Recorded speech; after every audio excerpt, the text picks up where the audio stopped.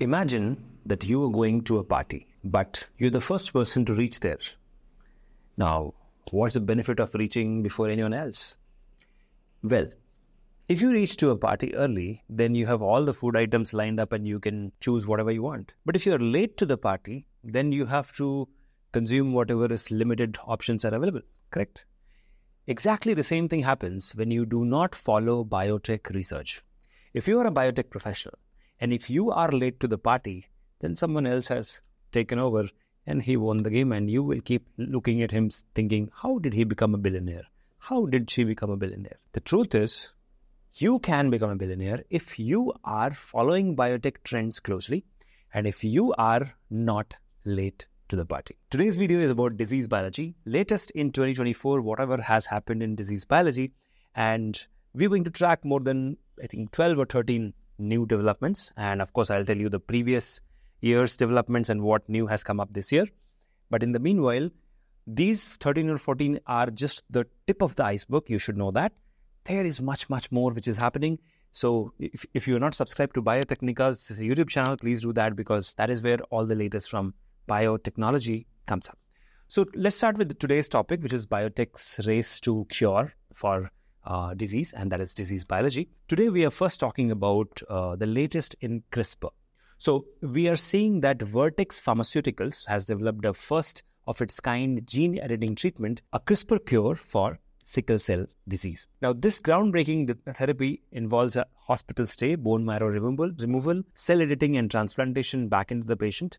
And the expected price tag was very high, uh, ranging from two to three million. But after the injection of this new technology, which is called as CRISPR, it has become even more cheaper.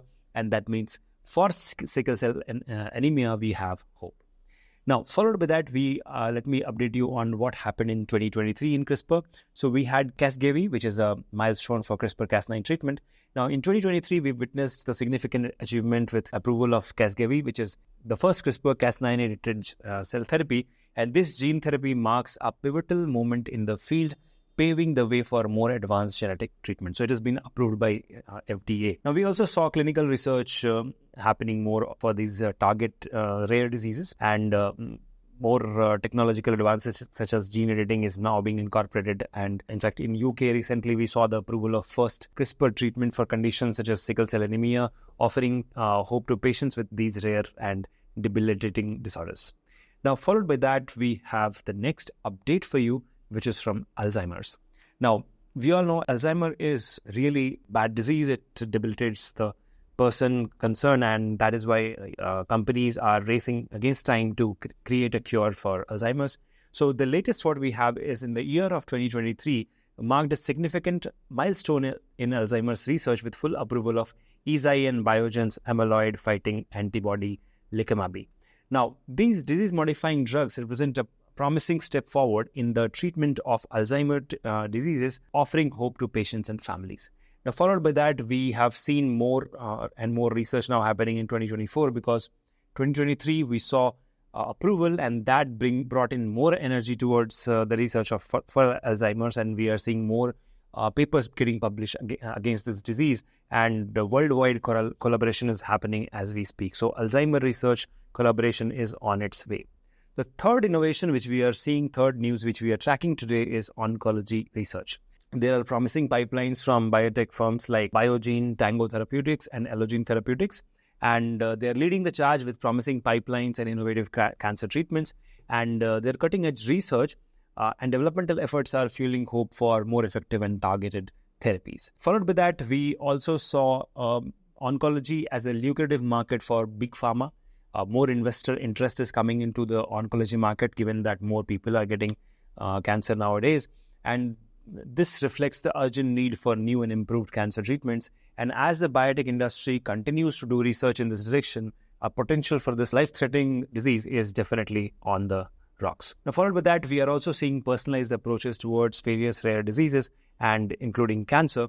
So, the future of cancer treatment is obviously going to be personalized medicine. We have always spoken about it in our channel, and advancements advancements such as uh, genomics, immunotherapy, and targeted therapies are paving the way for more precise and effective uh, treatments, offering hope for better outcomes and improved quality of life for patients. Now, followed by that, the third and most interesting development of 2024 has been obviously AI in drug discovery. Now, disease biology as such is, we can say it is getting revolutionized with AI because uh, the AI based strategy is little different than other strategies. Other strategies are wet lab strategies. The AI strategy is totally into bioinformatics and machine learning. So we basically learn and then we implement. That's how the machines are working. An AI based strategy has been developed to speed up the discovery of new drug candidates for serious diseases such as Parkinson's and cancer.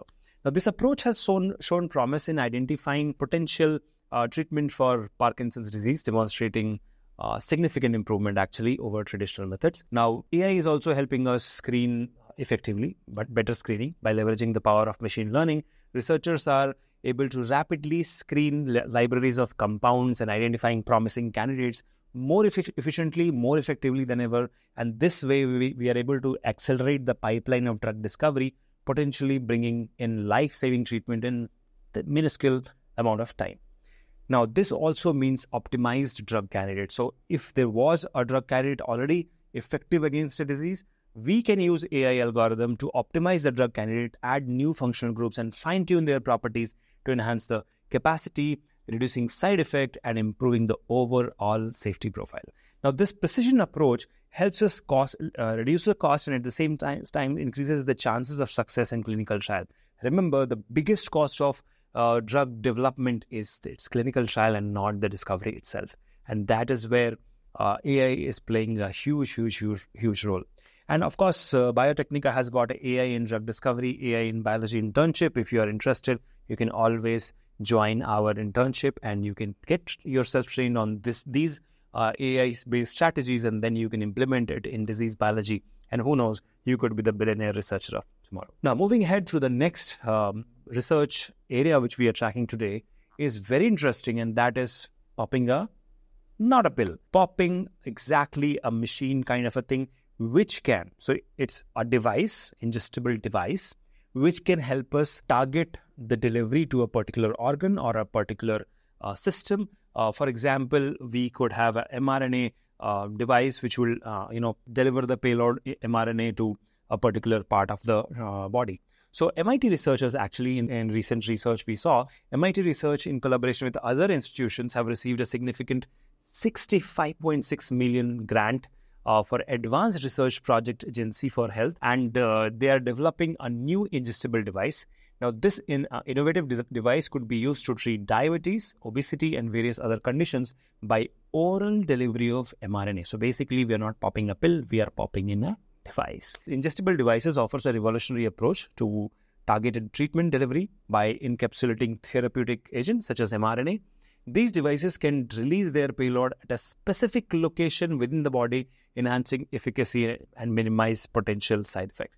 Imagine that if there is a kidney stone and we could just take the drug right there and deliver the drug and then the kidney stone uh, goes away. So imagine that's a great, great, great achievement for the patient. So of course, this will be a game changer and a lot of research we are seeing in 2024 in this direction.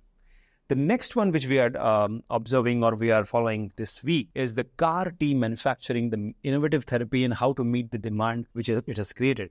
So we we saw uh, expansion of manufacturing for CAR T cell therapies, and the race to amplify CAR T manufacturing is on with uh, companies such as Bristol Myers Squibb and J and J Johnson and Johnson working towards expansion in multiple myeloma. Now, this focus on improving manufacturing capability is crucial to meet the growing demands for this new therapy. Now, the scalability of this therapy totally depends on the investor interest also that we have we cannot deny. But CAR T therapy continues to demonstrate their potential in especially in cancer and the manufacturing process is increasingly important and biotech companies are investing in advanced technologies and facilities to ensure that they can meet the needs of growing patient population. Now, at the same time, controlling the quality of CAR T cell therapy is going to be a challenge, and that is where people like you can come in and do a lot of innovation. Followed by this, we are tracking bioprinting and tissue engineering this week. So we saw complex tissue structures being formed last week. We had a paper published on this. So, development in bioprinting is in enabling us now to create complex tissue structures, and that could potentially lead to fabrication of bio artificial organs. Now, this technology holds immense promise for addressing organ shortages, and providing personalized solutions for patients in the need of transplants. Now, we will also see uh, this happening for the burn wound victim. So, many people get burned by mistake or by accident, and now you can use bioprinting to practically apply and heal the wounds. So, you will have a handheld bioprinter that can apply layers of skin tissue directly on the wounds. And this innovative approach will not only accelerate the healing process but also reduce the risk of infections and scarring, improving the outcome. Now, obviously, followed by this, we can always say that because burns are so local and so specific, because my burn may be different than the next person. So, personalized tissue engineering is the future of regenerative medicine. And of course, um, we are definitely looking at some great uh, innovations and additions over here. Now, followed by that, we always have talked about stem cell innovations. So, the regenerative potential of stem cells is going to be the game changer. We are seeing diverse stem cells types come entering the experiments, and now that we have CRISPR based gene editing, we will be able to enhance the therapeutic potential of stem cells by precisely modifying the genetic makeup of these cells. Researchers can create more and more effective and targeted treatments for wide range of diseases and conditions. So stem cells hold a great promise for us. Now, the next problem which we as humans are facing is obesity. Thanks to our lifestyle, thanks to the metabolic uh, pathways we have, now we are seeing metabolic diseases and we need more targeted therapies to target the root cause of this. So basically, we have metabolic pathways. So biotechnological interventions are targeting uh, metabolic pathways in battle against obesity. New drugs are entering the market, which is modulating the pathways, aiming to restore the metabolic balance. And of course, obesity happens because of hormonal imba- imbalance also. So now biotech companies are exploring therapies that target hormonal regulators such as leptin and ghrelin to help control the appetite and improve the metabolic functions. Now, of course, in this also we will see the personalized approach coming in because you see, my type of fat and your type of fat is different. You might have a hormonal fat, I might have a, a metabolic fat. So, whatever is the reason for the fat, we will see personalized approaches being followed up, and that is where biotech companies are working in 2024 and beyond. At the same time, it's very interesting to let you know that we are seeing renewed investor interest into biotech sectors, especially into CAR T cell therapy, into HIV research, Alzheimer's, and rare diseases. We are seeing more companies acquiring other companies for CRISPR, and there are more strategic partnerships happening where two companies from Asia and Europe or Asia and US are coming together to have a patented or a generic drug and being delivered. At the same time, the regulatory landscape is also improving. We are seeing FDA approving AI powered drugs and for clinical trials. So that's a great uh, win win situation here. We have talked about gene therapy advancements and rewriting the genetic codes and the blood, blood disorders in the previous videos. But imagine gene therapies uh, making strides in the treatment of blood disorders and rare genetic conditions. It's a huge boon to the human race. And we are also seeing uh, improvements in the viral vector technologies where we are enhancing the delivery and efficacy of gene therapies using viruses and viral vectors. Now, researchers are exploring how viral vectors and engineering these existing ones uh, can be used to improve the safety, specificity, and therapeutic potency of viral vectors. We have always talked about AI in drug discovery, CRISPR, and all the new things which is happening. My message to you is okay, all these are happening and new things will keep coming up. Probably I have just covered the tip of the iceberg. But if you are late to the party, then you will keep regretting whole of your life thinking it's not working, right? But if you are early to the party, if you enter the research world faster than before, then your chances of success is higher. Start at where, wherever you are, do what, whatever you can, and enter whichever organization you can. So, even if you can enter as a project assistant, but if you start in 2024, definitely by 2047, you will be a senior scientist or a uh, senior uh, chief scientific officer. But if you do not believe in the field, if you do not believe in the people, then definitely nobody can help you. So these were some promising uh, research areas where you can get in, but I'm sure you might have some new areas you might which in which you might be interested. Put that down in the comment section so that I can make specific videos only for that. So this is all about disease biology this week. Thank you so much for watching. See you soon in the next one. Till then, keep shining. Bye bye.